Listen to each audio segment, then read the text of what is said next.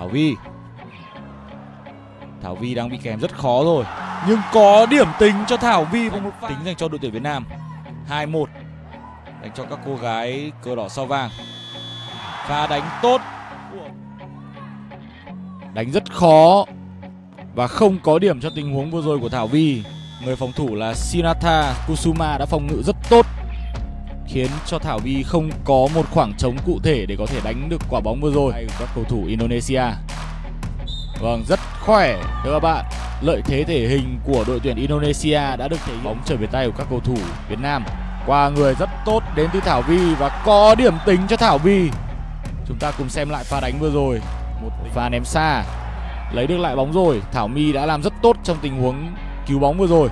Và có ngay hai điểm tính Vâng và vẫn là những tình huống đánh cực thể hình Indonesia ném trượt cú hai điểm rồi, nhưng Kimberly là quá to và quá khỏe thưa các bạn. Có tay của Sirata dễ dàng vượt qua tuyến chắn của anh Đào. Và vừa rồi anh Đào đã đáp trả lại một tình huống của Ovil Natania vào vị trí của Thảo Vi và Thảo Vi đã không thể phòng ngự tốt trong tình huống vừa rồi.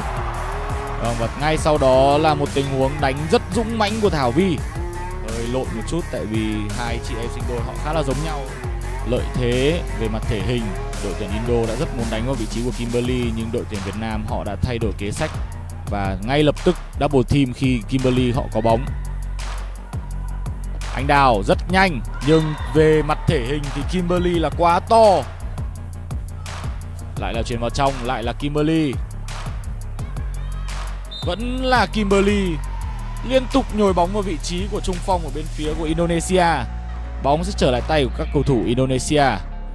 Vẫn còn 4 phút. Vâng, những pha phải nói là rất khỏe đến từ Kimberly lù thẳng vào rổ từ vạch ngoài vạch hai điểm là quá khó cho đội tuyển Việt Nam. Đội tuyển Việt Nam đang gặp rất nhiều vấn đề về thể hình khi phải đối đầu với một cầu thủ to cao như Kimberly.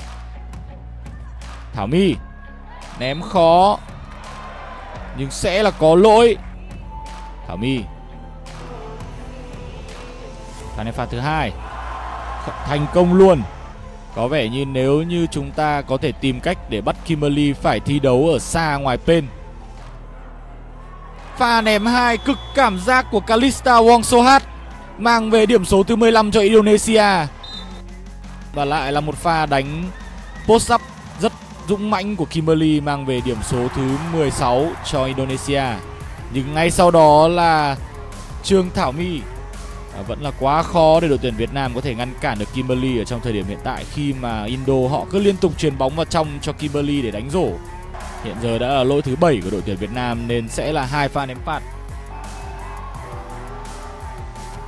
Phần phát thứ hai thành công. Ném xa luôn. Có hai điểm tính đến từ Thảo Vi.